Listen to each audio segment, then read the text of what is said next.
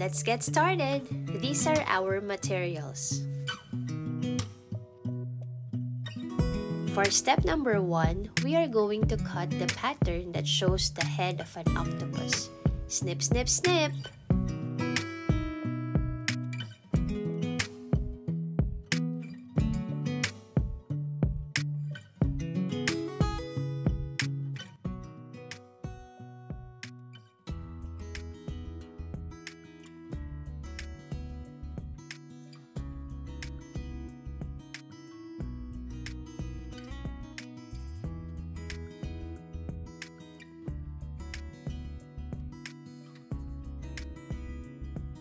For step number two, we are going to use these three white sheets of paper. So you're going to stack them on top of each other and then we're going to fold it lengthwise twice just like this. It looks like a tall building. Press. Once you open it, you would see the crease. Now let's fold one more time.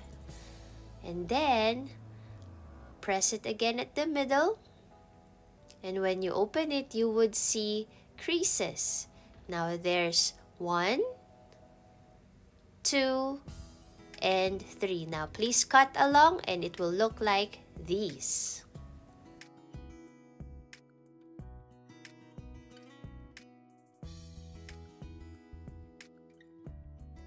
For step number three, we are going to make the tentacles of an octopus. So if you are going to put a little bit of glue at the bottom, and paste them together, you would make one long tentacle. So let's make four long tentacles.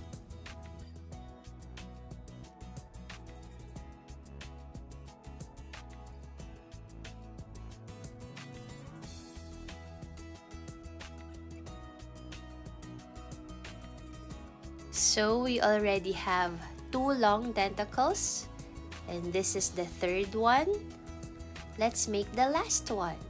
Remember, we should only make four long tentacles. The others will be our short tentacles. There you go. We have long and short tentacles.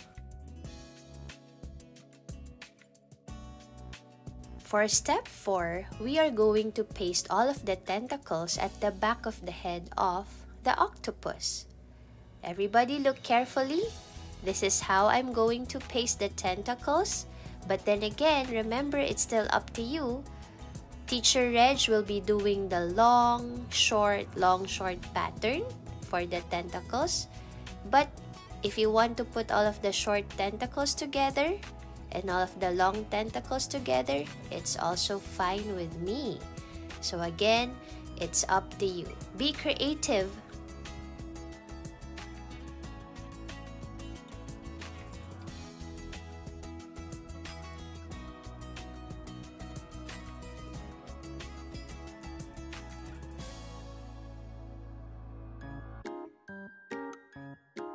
For step 5, I prepared a tissue paper, tap water, and of course, my watercolor. So now we're going to paint. You may choose any color that you want. And tada! My octopus looks just like this.